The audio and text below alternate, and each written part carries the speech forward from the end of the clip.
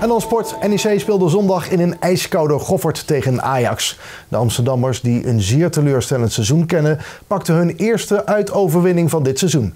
NEC wist namelijk weer niet een thuiswedstrijd te winnen. Ondanks de goede eerste helft staat NEC met lege handen.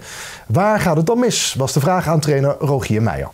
Uh, nou, ik denk ook een stukje individuele kwaliteit van, uh, van de tegenstander. Ja, zeker voorin. Uh, de de, de, de 0-1 is natuurlijk een belangrijk moment in een wedstrijd. Hè, die Brobby denk ik zelf creëert. anderzijds denk ik dat, dat het een gelijk opgaande wedstrijd was. Alleen ehm, dat we in sommige momenten iets te waren om echt iets uit te spelen. En die momenten hebben we wel gehad dat we iets uitgespeeld hebben, maar die hadden we meer kunnen hebben denk ik. Ja, dan gaat het een uur lang een beetje op en af. Hè. Kansen voor Ajax, mogelijkheden voor NEC. Ik denk dat we het zo kunnen omschrijven. Dan komt de 1-0 uh, voor, uh, voor Ajax op een manier van Bobby. Je hebt het denk ik honderd keer over gehad in de training. Is het dan extra erg of is het, ja, die jongen is nou helemaal zo sterk, daar kan ik niet zoveel aan doen?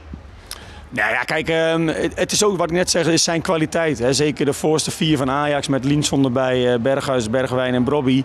Ja, die hebben wel uh, internationaal topniveau. En ja, op het moment dat hij deze bal kan ontvangen, dan hou je hem niet meer, zeg maar. Dus ja, het voortraject om ballen eruit te halen, hebben denk ik de hele wedstrijd heel goed gedaan. Um, ja, op één moment na en dan heeft hij ook meteen zijn kwaliteit laten zien.